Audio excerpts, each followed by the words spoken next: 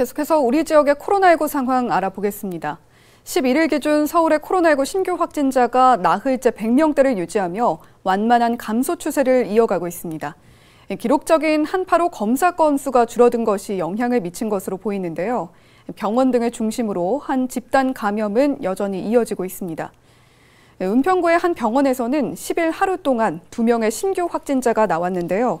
병원 관계자 1명과 보호자 1명이 지난 4일 최초 확진 판정을 받은 이후 10명의 확진자가 발생하면서 은평구 병원 누적 확진자 수는 모두 12명입니다.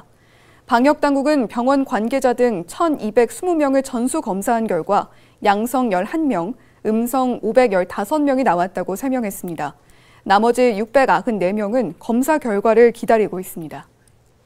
발열 환자 전용 엘리베이터를 운영하는 등 방역 관리 수칙은 준수한 것으로 확인되었으나 전수검사에서 확진된 병원 관계자로부터 환자와 보호자에게 전파된 것으로 파악되어 병원 내 집단 발생과 개별 사례 연관성을 추가 조사 중입니다. 방역 당국은 해당 시설을 코호트 격리하고 긴급 방역을 실시했다고 덧붙였습니다.